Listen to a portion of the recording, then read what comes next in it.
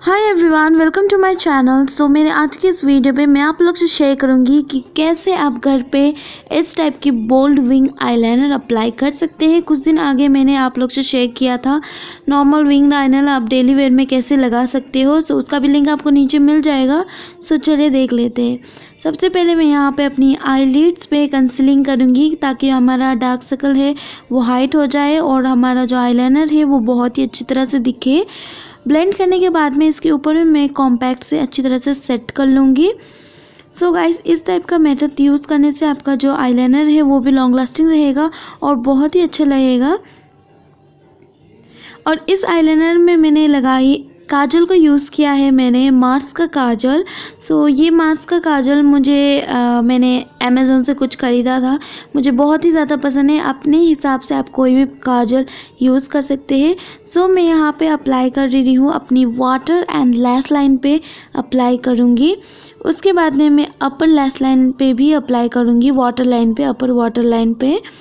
सो so guys अगर आप काजल लगाते हो तो आपका मिरर जो है वो ऊपर की तरफ़ होने से आपको बहुत ही अच्छी तरह से लगेगा। नहीं तो नीचे में लग जाएगा तो बिल्कुल भी अच्छा नहीं लगेगा। सो so, मैंने लगा लिए है कुछ इस टाइप से मैं फ़र्स्ट यहाँ पे काजल अप्लाई कर ले रही हूँ। उसके बाद में मैं विंग आईलाइनर लगाऊँगी। सो so, अगर आप लोग इस टाइप से काजल लगाते हो तो नॉर्मल इस टाइप से भी काजल लगाते हो तो आपको इसके ऊपर में आईलाइनर लगा लीजिए। तब आपका बहुत ही लॉन्ग लास्टिंग रहेगा।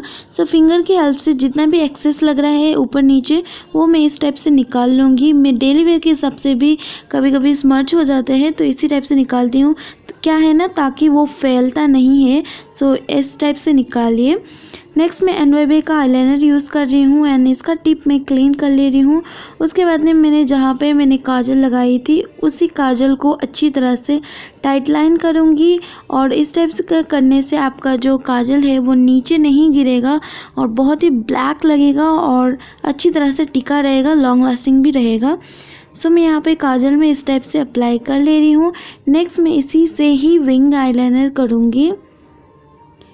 और इस टाइप का जो लुक है, वो आप कोई भी मेकअप लुक में कर सकते हो। आपको कोई भी ड्रेस पार्टी ड्रेस और वेस्टर्न ड्रेस में आप लगा सकते हो।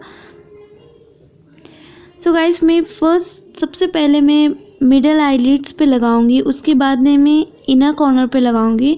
सो लास्ट में मैं विंग्ड करूँगी। सो so आपके हिसाब से आपको कितना विंग चाहिए, उतना कर सकते हो। सो so मैं नीचे का जो काजल है, उसे एंड अपर का जो मैंने बनाया है लाइन उसी को अटैच करके मैं एक विंग आईलाइनर करूँगी। मैंने पिछली बार जो मैंने आपको एक हाउ टू अप्लाई आईलाइनर या विंग लाइनर ऐसा मैंने शेयर किया था सो उसमें भी थोड़ा सा डिफरेंट है वो एंड ये थोड़ा सा डिफरेंट है। मैं यहाँ पे बहुत ही इजी ट्रिक आप लोग से शेयर कर रही हूँ। आई होप कि आप लोग के लिए हेल्पफुल रहेगा। सो so गाइस मैं इस टाइप से मैं पहले आर्ट कर लूँगी विंग आईलाइनर का, उसके बाद मैं फिल इन कर लूँगी। फिर आपको जितना लेंथ चाहिए, उतने हिसाब से आप आउटर कॉर्नर पे इस टाइप से कर सकते हो। सो गाइस ये है रेडी हो गया है मेरा विंग आईलाइनर बोल्ड बहुत ही अच्छा लगेगा। और सेम टू सेम आप मेज़रमेंट करके नेक्स्ट जो अपने दूसरे आई है, वहाँ पे लगा लीजिए। और फिर बन जाएगा आपका बहुत ही अच्छी वाली bold wing eyeliner so so, अगर आप लोग ने पिछली बारी जो मैंने इस टाइप का आईलाइनर का शेयर किया था वो नहीं दिखा है तो वो आपको आई बटन या आपको नीचे डिस्क्रिप्शन बॉक्स में मिल जाएगा। सो so, चेकआउट कर सकते हो। सो कभी भी आप ना डायरेक्टली अगर लगा रहे हो तो आपका डार्क सर्कल नहीं होता है। उसी टाइम सिर्फ़ लगाइए। अगर आपका डार्क सर्कल है तो आप अच्छी तरह से एक बार कंसीलिंग कर लीजिए उसके बाद में लगाइए।